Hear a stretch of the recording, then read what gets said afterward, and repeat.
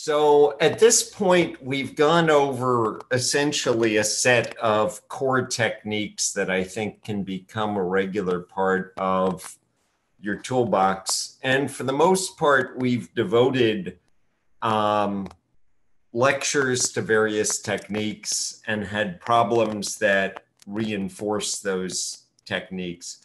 What I want to do in the last couple of lectures, in the last couple of classes, is talk about a few additional techniques that either over the years I've found to be useful or I've read about and thought this could be useful to us. Um, where as specialized tools for a particular aspect of your research, I think they could be valuable. And so what I'm going to do today and on Friday is talk about some other useful NMR techniques that we're probably not going to encounter. And the only one I'm going to hedge on is the first that James is gearing up to give us a spectrum on for strychnine and possibly to include on the problems, not to on the exam problems, not to make your lives harder, but on the contrary, to make your lives easier by a technique that I think uh, might be useful, but it's the first year we've we've used it. And so there are two techniques that I'm going to, to start with here. Um, one of them is uh, 2D J resolved uh, spectroscopy.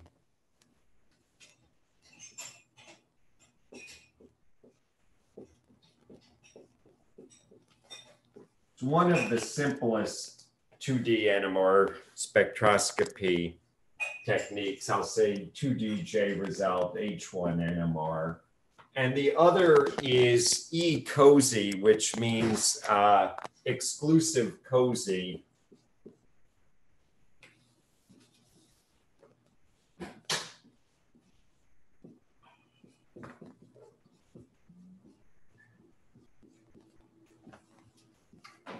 And both of these provide information uh, on coupling, and I guess I could say, uh, maybe I'll say easier access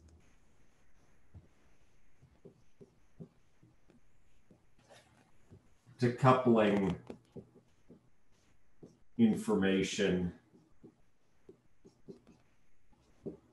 And I'm going to be giving examples from some books here. And I wanted to show these books to you because I think these are worth having either on your bookshelf if you're going to be using a lot of NMR, or at least knowing knowing where you can can find them. So I'm going to start by sharing sharing handout number number one here and talking a little bit about that.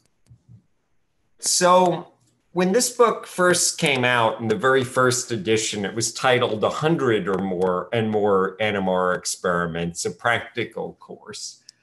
And what the authors of this, this book did, I think they're in Germany, what the authors of this book did was basically just have a couple of pages for each NMR experiment. They didn't focus on interpretation, so they weren't focusing on using the technique to solve a problem, but they essentially showed how to implement it.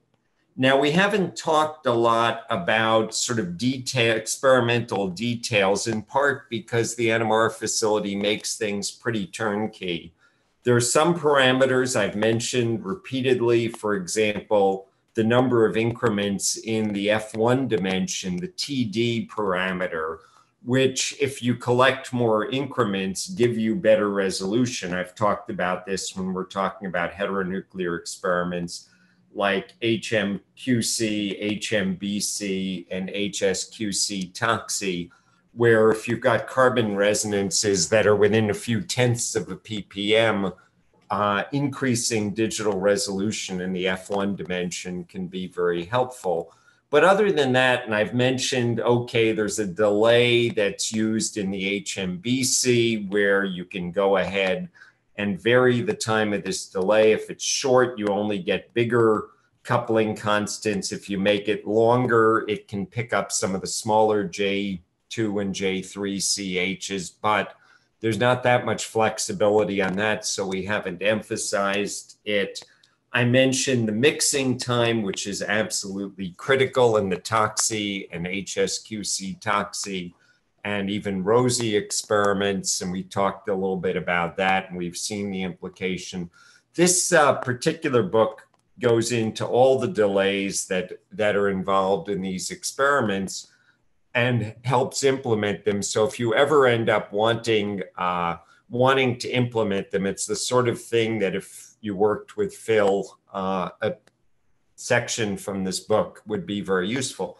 So when the book came out initially, it was 100 more NMR experiments. And then a few years later, they came out with a second edition, which was 150 and more NMR experiments. And then a few years later, they came out with 200 and more NMR experiments. And I dutifully bought each book because they're very, very good books. Here's an example of of a way in which they present it. They talk about the pulse sequence. They give some some details, and then they say and they they show you the various parameters that typically get used, how to process the spectra, and then other than a few comments, they basically provide an example of a spectrum. And we'll start with the 2DJ resolved. So after that book, they came out with yet another book. Who wants to guess what the next book they came out with after the 200 and more NMR experiments was? 250 and more. And that's what I would have expected. And they came out with this book, which I bought bought as well. And this one is really great. What they did was say, okay, we're not just going to get you lost in the alphabet soup of NMR techniques. We're going to select techniques that are really useful to people and go into a little more detail. And they're still not going into the type of detail on interpretation, but they actually write a little bit and they curate among this them. And that's of course what I've done in this course is to curate techniques and say, look, I know there's a lot of variants of experiments. Let's take the ones that we're going to want in our toolbox. So I wanted to take a moment to talk about some of the experiments because if you were to buy one book, I would recommend this book if you wanted to buy, if NMR is, is a big part of your research, I would recommend this book. Each of the chapters is now a little longer. They expand on things a little bit. They talk about context. They still provide references but it's it's curated so it's nice. So one of the techniques i know at least tangentially we've seen at one point is this other variant that's similar to dept. So apt is similar to dept. Um, it stands for attached proton test it's a little simpler to implement than DEPT. Uh, there's probably not a good reason you'd need it, um, but it it only provides one spectrum, and your C your quats and your CH2s are up, and your CHs and CH3s are down and honestly, if I had only done this experiment instead of DEPT, I think you would have always been able to spot your quats in the 1D spectrum so you'd know where they were. This would tell you your CH2s. You'd spot your methyls from any uh, HSQC or HMQC experiment, and you'd know your CHs. So it's a fine experiment. What, what DEPT brings and why DEPT is a good technique is the PT that stands for polarization transfer. It's a little bit trickier technique to implement. One of the reasons why James and I are constantly putting little X's to help you distinguish artifacts in the experiment from it being implemented imperfectly. But what's nice it, is it requires fewer scans.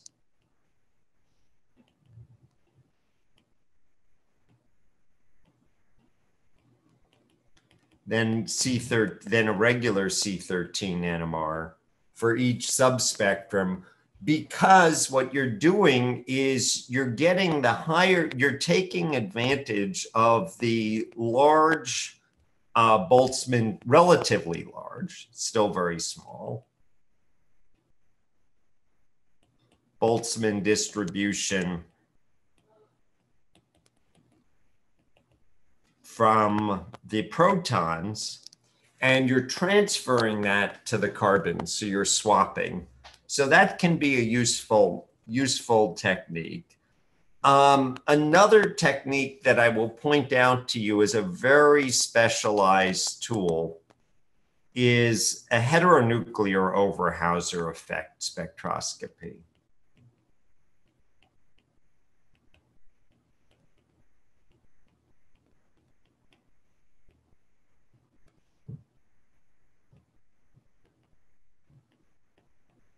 And I guess I'll give you a hypothetical example. So we've done NOEs from proton to proton. And usually that's the most useful technique. We've used it in many, many problems for determining stereochemistry and conformational analysis. But imagine the following. Imagine I had an let's just say an ethyl ester and let's just say to keep this simple, a methyl ester on, let's say, a cyclopropane ring. And let's say I had a methyl group on the cyclopropane ring and I want to figure out which side the methyl group is cis to. We probably won't be able to get an NOE to the ethyl group or the methyl group on the esters. They're too far away. But we're probably going to be able to, uh, but the methyl group is going to be close to one of the carbons. And so what we can do is use a heteronuclear Overhauser effect experiment to look for an NOE to the carbon. It's a pain in the neck of an experiment, but you could look at it and say which carbonyl gives you an NOE with the methyl group. And that would allow you to determine whether the methyl group was cis to the ethyl ester or cis to the methyl ester. So that's the sort of case where you might want this experiment, and they're they're both 2D and 1D var, uh, variants of it. Um, but that's one that I think is worth having in your toolbox. We've talked. Does anyone have questions about about that technique?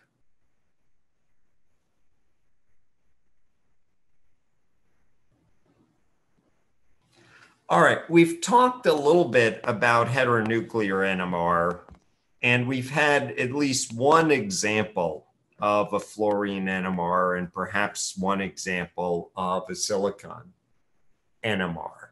For those people who are working with metals and metal complexes, some metals end up having very good NMR spectra. So, for example, platinum 195 NMR is just great.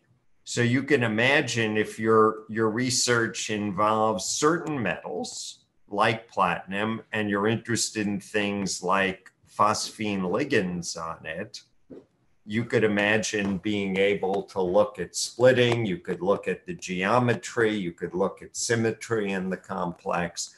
That's very useful. In my own lab, and I know we've seen at least one example of fluorine NMR in the homework center, I guess we had two, two examples. In my own lab, uh, Maj Krumberger is doing a lot of work with a compound that contains a trifluoromethyl group. And so it's actually a trifluoromethyl, well, carbonyl among other things, carbonyl and diazirine and so forth. And in his synthetic chemistry, it's really, really nice to be able to go ahead and use the F19 NMR, and it ends up almost being like an HPLC spectrum. where he can see his starting material, he can see his product, he can see byproducts or side products. And once he learned which peak was which, he could use F19 NMR very nicely to monitor the course of the reaction. It works just great. Others in my lab are doing chemistry with phosphines. And although it's not listed here, P31 NMR, which again, I think we've seen or talked about, is another very good, very simple NMR technique. All of these, well, many of these nuclei here have nuclear dipoles. N15 has a nuclear dipole, fluorine 19 has a nuclear dipole, phosphorus 195 has a nuclear dipole. These are all relatively straightforward techniques to implement uh, where they don't require any uh, any sort of specialized techniques. Some of them, like boron 11 NMR, I think are a little bit a little bit trickier to implement. But anyway, I recommend it highly. The 400 megahertz NMR spectrometer is easily set up for phosphorus. And uh, actually, now I think we're doing that on the 600. Anyway, these are not hard techniques to implement, and I do recommend them highly. Let's see. In the case of proteins, really one of the working experiments that we end up doing, I won't say all the time, but do routinely, is uh, hydrogen nitrogen HSQC or uh, N15 H1 uh, HSQC. And it basically generates a fingerprint for a protein. You can express a protein with N15 at every position. And what the proton hydrogen HSQC does is you generate N15 is on the F1 axis, H1 is on the uh, F2 axis. And so it looks very much like a regular carbon remember HSQC and HMQC are essentially the same technique. They differ slightly in So what you get is basically a cross peak for every NH in the molecule, like so. And so you will pick up virtually all your NHs. And then what you can do is if you have some type of interaction of the protein, for example, binding to a ligand, certain of these spots are going to, upon binding to a ligand or other things, may end up shifting in position. So some of them will be on top of where they were before, and others of them may. Um, may shift and you'll be able to pick up and basically say, okay, this part of the protein is interacting, or you'll be able to even just match up a fingerprint, or maybe you're expressing a mutant protein and you want to know if it folds like the wild type protein. If you express it with N15, then you can just see if the fingerprints largely match up. And that would be a good indication of folding. So usually what you do is you express the protein with N15 ammonium chloride, which is not too expensive, in the nutrient media, and the bacteria just produce the protein with that. Now, there's a whole area, and this is not a hard experiment to implement. There's a whole area of NMR that involves 3D NMR spectroscopy 3D again doesn't mean that the spectrum is three dimensional. It means that you have now a time a time one dimension, a time two dimension, a time three dimension that translates to frequencies. Usually, this is used uh, for proteins, sometimes for nucleic acids. It's a mainstay of biomolecular NMR a little bit more expensive uh, you can express your protein with N15 and C13 in it. So now you have three spin active nuclei in the protein, and you can get correlations for every resonance with the carbons and protons and N15s. And then you can use this to figure out uh, the three dimensional structure of the protein.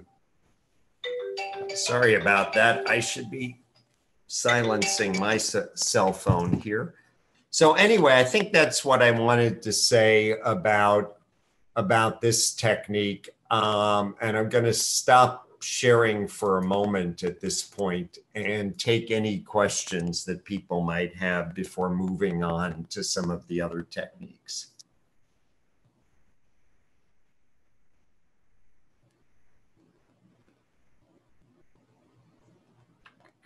Um, I thought of one right after uh, you move forward regarding that uh, ethyl and methyl ester of the cyclopropane. Uh-huh. Um, how is there any other way that you might distinguish what side of the ring that methyl's on? That's gonna. Ooh, so you're asking a good a good question, Brian.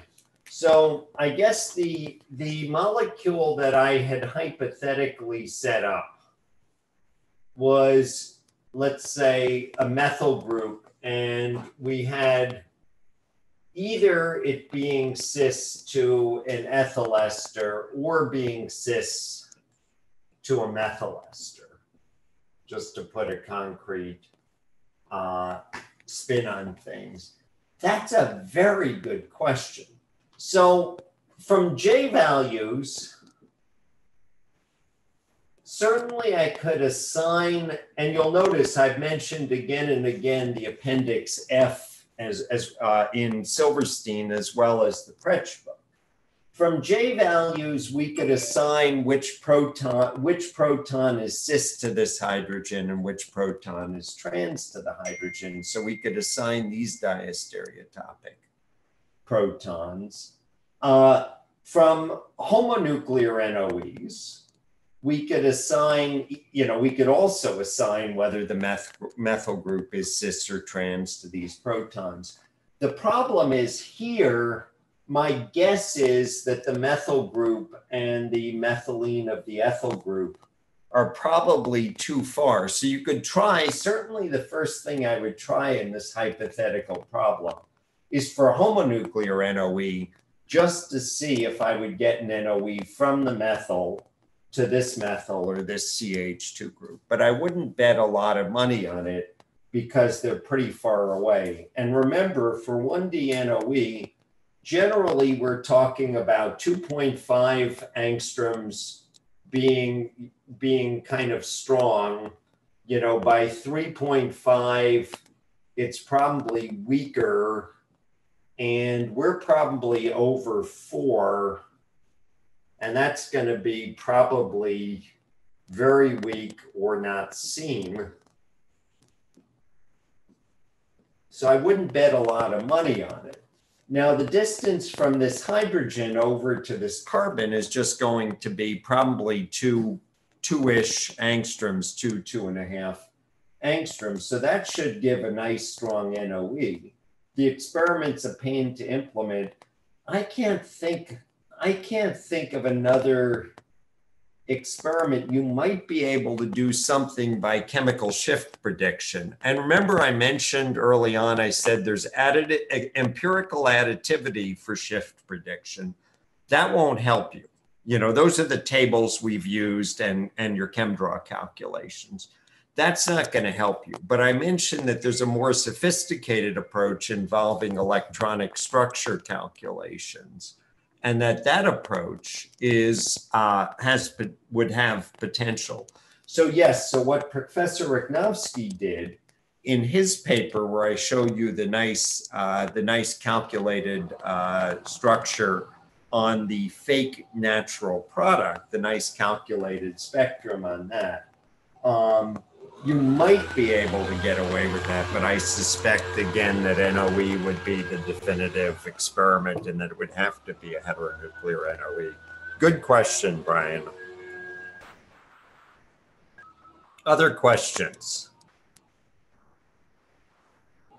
All right, I want to move on to uh, to 2D J resolved and eCOSY. So I'm going to share my screen again and go back to handout number one.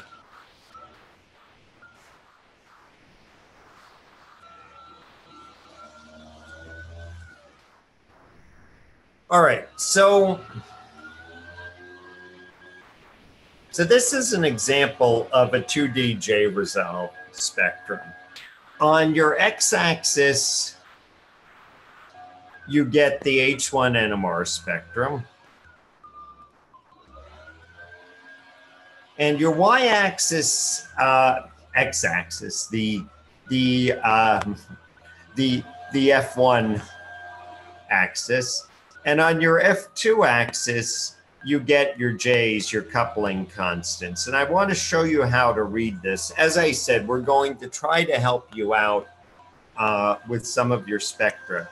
So basically, under each peak, you get a set of cross peaks. And I want to show you what we're looking at. This particular example is a nice first order experiment, first order example of ethyl crotonate. So ethyl crotonate has the two alkene protons. One of them is directly next to the methyl, one's allylic. And so you can see the one that's directly next to the methyl, and you can see the one that's allylic. And this one, you would expect it to be split by the trans J value, so big coupling, and then by the methyl group with a vicinal coupling. So this is a DQ. And then the, the hydrogen that's allylic to the methyl, you'd expect it to be split by a big J value for the trans uh, hydrogen hydrogen coupling, but also a long range allylic coupling. So you'd expect it to be a DQ. And I just want you to, to take a look at how the peaks appear. And so if you look here, we see peak, peak, peak, peak, peak, peak, peak, peak. And those peaks, if you were to do a projection, are one to three to three to one in intensity. And so basically, you're getting this doublet of quartets spread out along the uh, J axis, along the F2 axis. And that's nice because you can pick it out. It's also helping to resolve out the peaks. Here you see the quartet, the same thing you've got your peaks and you can very nicely pick out your your J values for say the CH2, which you have over here. Now, the reason I haven't been a bigger advocate of this is it's good for overlapping first order peaks. And I want to emphasize that.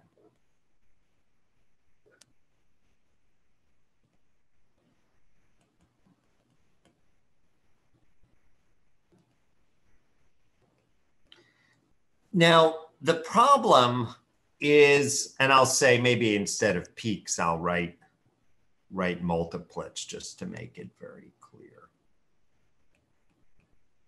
And we know that problem. The problem is this is good when the resonances are well defined. So overlap of resonances where it's not first order, where it's a mess, which are the ones we've just spent a lot of time looking at on the latest homework set, that's not going to help you because those resonances are not first order multiplets.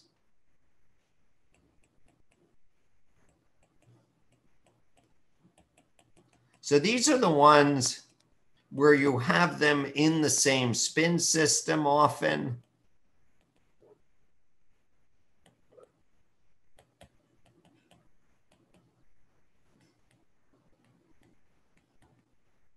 that's not going to resolve it. It's not going to solve the problem. So I'll say it won't be magically simplified.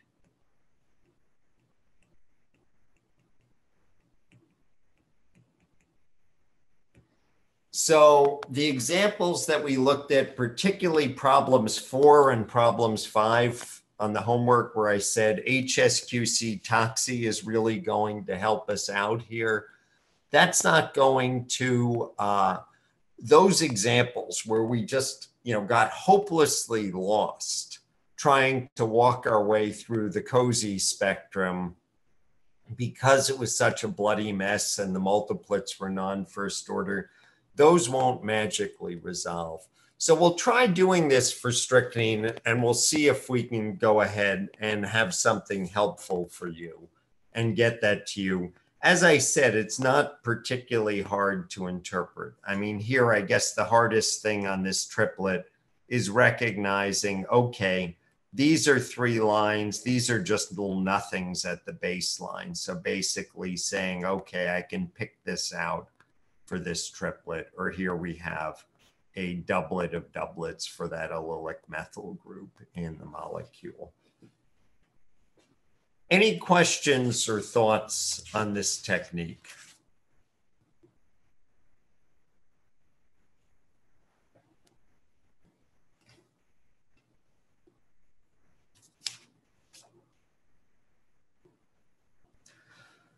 All right, I want to move on to another technique, and I believe this one is. Let's see. I think this is also. Yeah, this is also from this this 200 more uh, NMR techniques booklet. So eCOSY, as I said, stands for exclusive COSY. And what it does is it gives you the J values. You can see them directly in the cross peak. So let me show you the technique. I'm going to flip ahead. And I think this is ah, not the last page of the handout. I'll show XE next time. So I've never run this technique myself.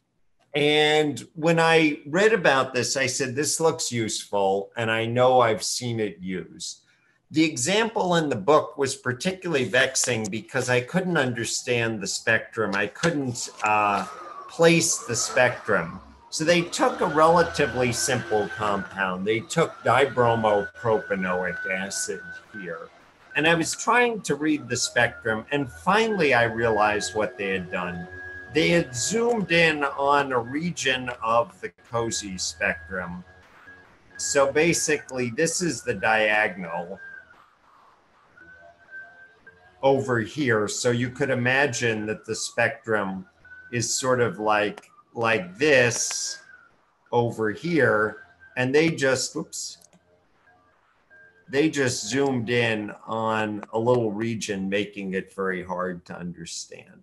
That was the first thing that I thought was was a little hard to understand in just reading the book. Then the second was, what are you actually extracting from here? So let's just talk about the molecule. The molecule has a hydrogen on carbon two, and then it has two, so we have a stereocenter here. And then on carbon three, we have two diastereotopic hydrogens, so they don't show up together. So this is just what you would get if you added bromine uh, across acrylic acid. So if you treated acrylic acid, if you treated propanoic acid with molecular bromine. So then I ended up looking at this, trying to see, okay, how do you interpret these spectra? And what you're getting here are cross peaks that are reflective of the coupling. So this cross peak here, for example, reflects the coupling of H2 with H 3a. And what we see are this series of two squares that come out to the coupling constant. And if you look at the distance, you notice we have squares here. One, two, three, four, and then one, two, three, four. And all of these distances are the same. And these distances here, if you measure that distance in hertz, that is your J between the 2 and 3A protons. So that that is your J value. You can read it directly off the cross peak. That's kind of nice. And we have the same thing going on here. So this is the cross peak that corresponds to 2 with 3b. So this distance here is j uh, is whoops j for 2 with 3b. And this last one here is 3a with 3b. And again, this distance is the j of the geminal coupling of the 3a to 3b. That's kind of nice to be able to extract that out of a single COSY.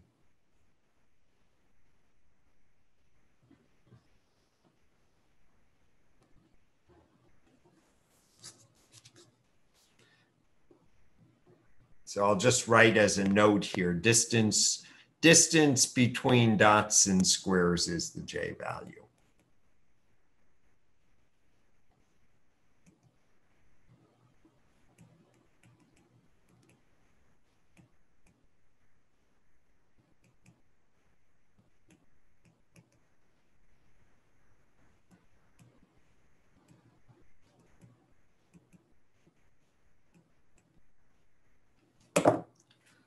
All right. Any questions on this technique?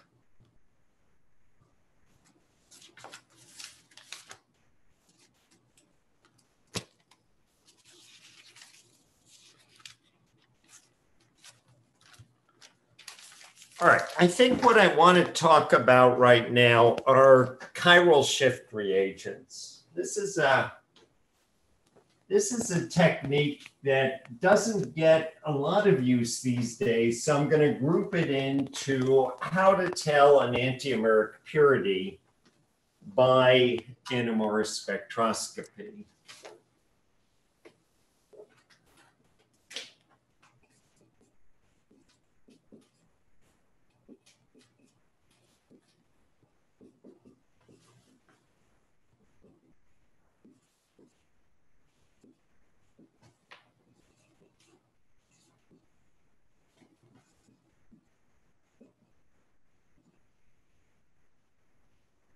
And one of the points I've made repeatedly in this course is that enantiomers inherently show up in the exact same position.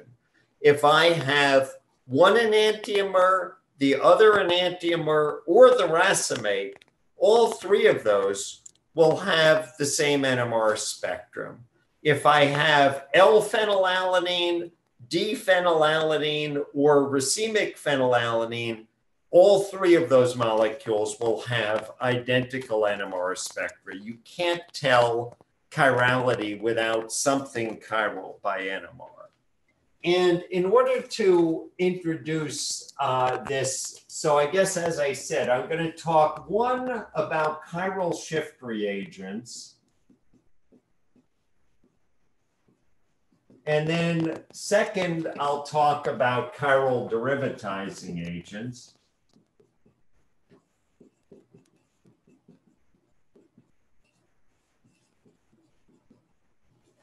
And in order to understand chiral shift reagents, we have to understand a very old tool that was developed a long time ago when NMR magnets were much weaker called lanthanide-induced shift reagents.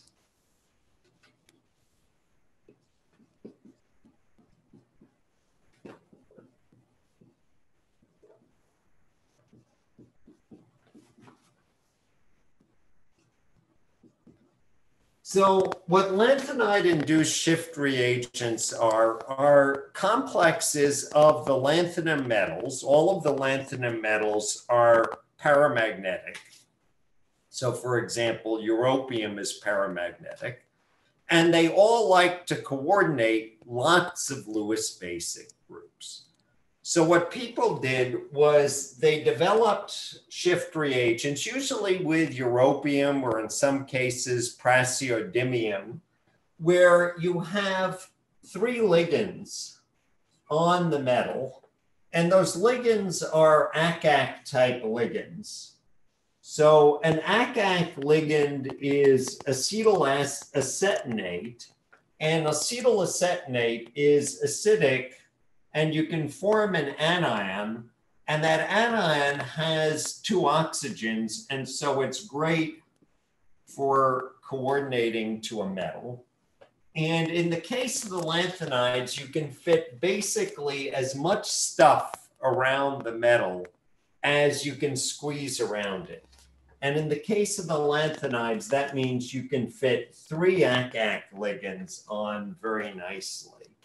Now that still leaves an open, that still leaves open coordination sites that can co coordinate to additional Lewis bases. So one of the reagents, one of the ACAC ligands that's used is DPM. And again, I guess I'll just draw now the, the ligand. And I'm, remember all of these ACAC, this is acetylacetone. And the protons in the center are acidic. So all of these ligands are derived essentially from ACAC. So one version that has two T-butyl groups, a, a pivoyl group, two pivoyl groups, is a DPM like is called DPM, dipivoyl methane. And so the reagent here is EUDPM3.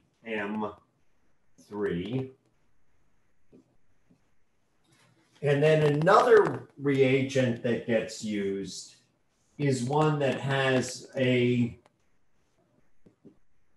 hexafluoropropyl group on it. And again, I guess I'll just draw it as the, the ligand. In other words, not indicating specific bonds. And this one's called FOD. And so the reagent that's often used is EU FOD 3. So that's, that's the gist of these reagents. And let me show you how they work.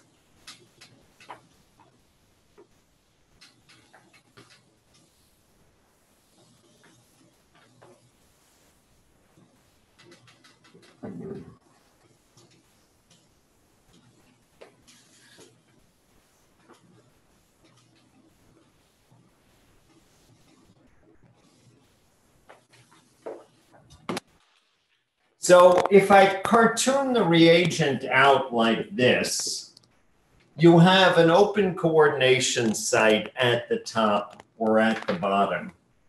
And a Lewis basic group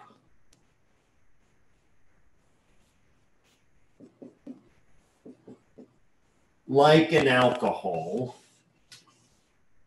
can coordinate on and what happens is the paramagnetic effect from the europium, so basically the oxygen ends up as a ligand, and the paramagnetic effect changes the magnetic field that the group experiences, and these protons shift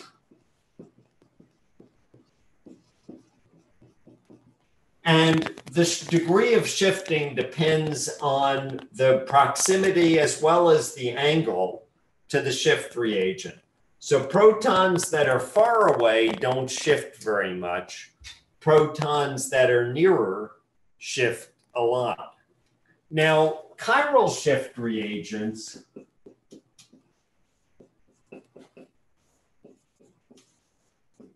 have a chiral ACAC group.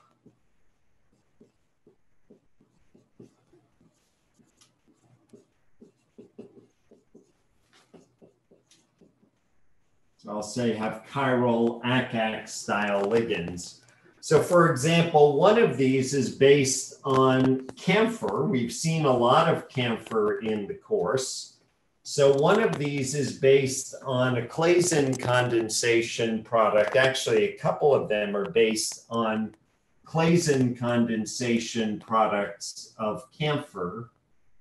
And over here, we can have a CF3 or a CF3, CF2, CF3 group. In other words, a trifluoromethyl group or a uh, hexa or a heptafluoropropyl group. And again, I'll maybe draw this in the ACAC style and the ligand style and show that we have three of these coordinated to europium. And so this is called either EU TFC 3 in the case of the trifluoromethyl group, or EU HFC 3 in the case of the hexafluoropropyl group. And what we have now is a shift reagent that's chiral. And that means it's going to interact with two different enantiomers differently. And I want to show you this with some spectra.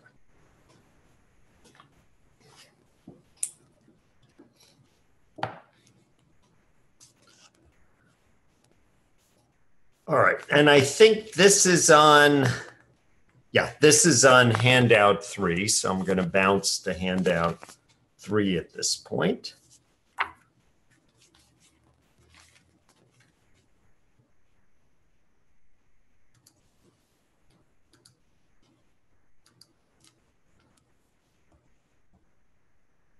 All right, so handout three comes from a book that I also like and also recommend.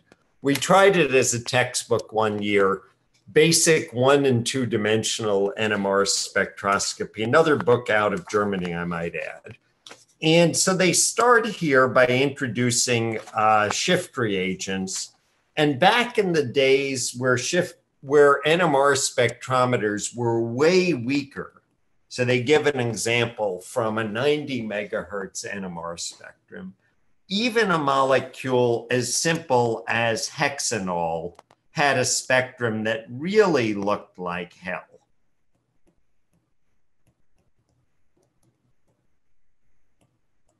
And so in this particular experiment, they demonstrate that when you add a small amount of the europium DPM3, the hexanol coordinates to it as I had drawn on the blackboard. And now your methyl group doesn't shift very much. The methylene group that's next to the oxygen, that's what's uh, you know right near the europium, shifts a lot. And the in-between methyl methylene groups that had been all lumped together shift and become disperse. And that was useful for things like if you have a steroid like cholesterol, which would just be a mess at 90 and isn't even very pretty at 500 or 600 megahertz, that would be useful for that. Now, if that was all to the technique, I think it would have, you know, would have been relegated to the dustbin of history. But here's an example of a chiral shift reagent. And they start out in this example, so further along in the handout, they start with a single enantiomer of phenylethylamine.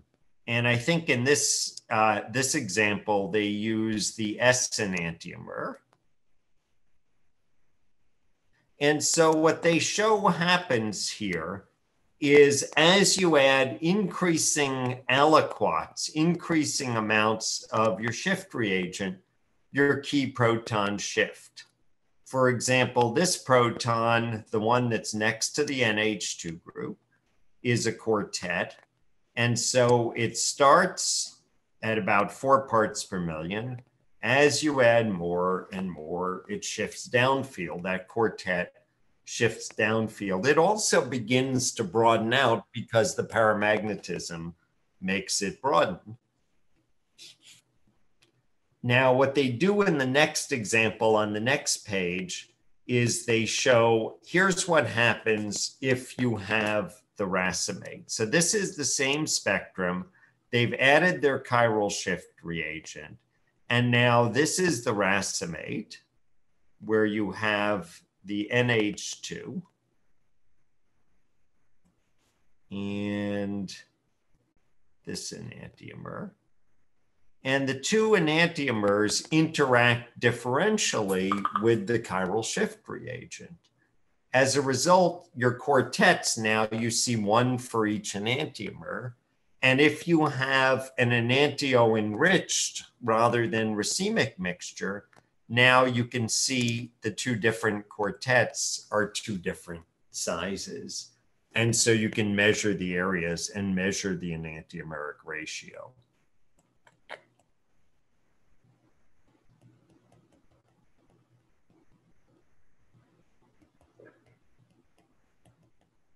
And that's nice. A simple experiment that allows you to determine the enantiomeric purity of your compound with just an NMR sample.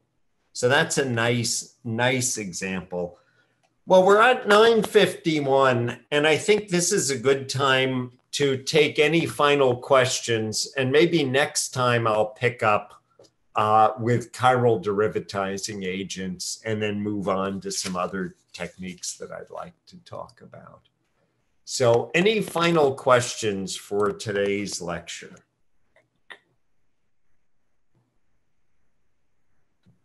Yeah, so with this last technique, um, do you need to have a uh, Lewis base on your molecule and can you only tell um, the different shifts for the protons near that Lewis base? That is exactly correct, Brian. So you need to have a Lewis base in your molecule, and you can only tell the different shifts. Typically, it would be near to the Lewis base. Often the Lewis base is right at the stereocenter as it was in phenethylamine.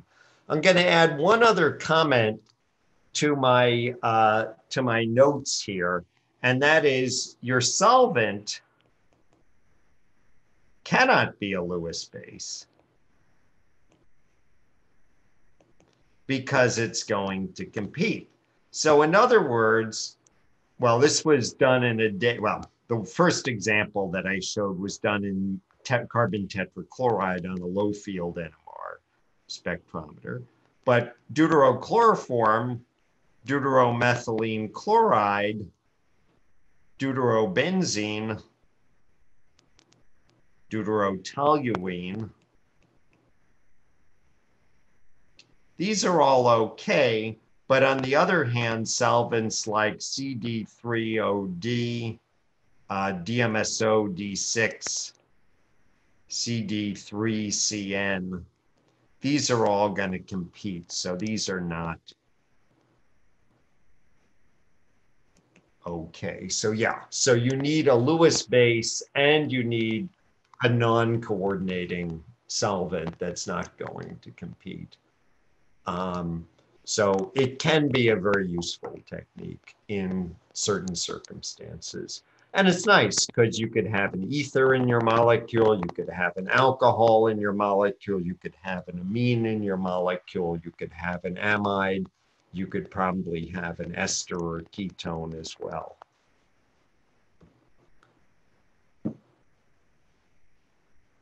Other questions?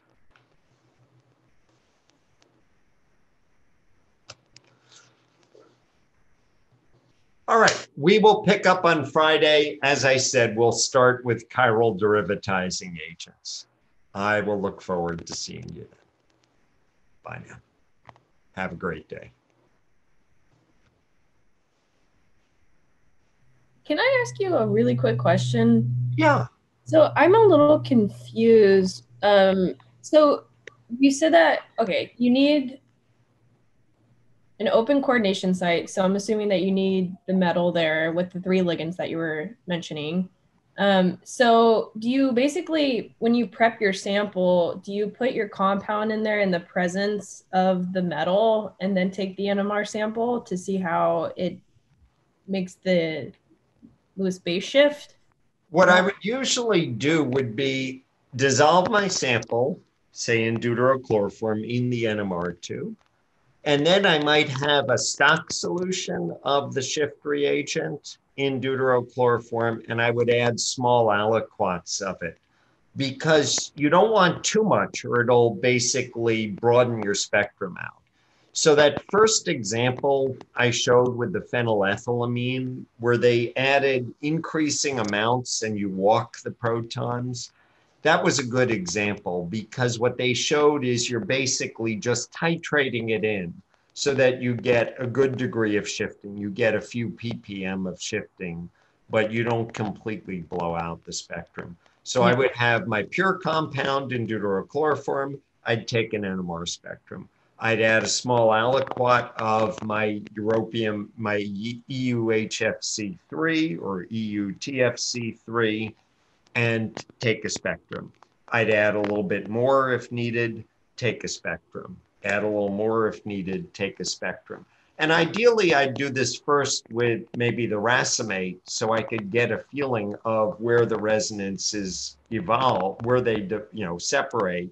And then I would do it with my enantio enriched compound. So you could imagine a synthetic methods project where you're exploring, say, chiral ligands to try to set a stereocenter. And you're trying, first you develop the reaction to make the racemate, or maybe you have an authentic sample of the racemate. And then you're, say, trying different ligands, maybe a reaction a day with a different ligand to see which chiral ligand makes your stereocenter the most enantio pure, forms your stereocenter the most enantio pure.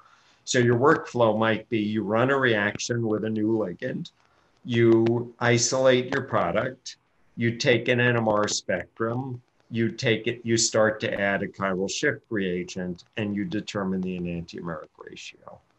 Okay, that makes sense. And then you just sort of compare what your enantiomer pure compound is relative to the racemic mixture.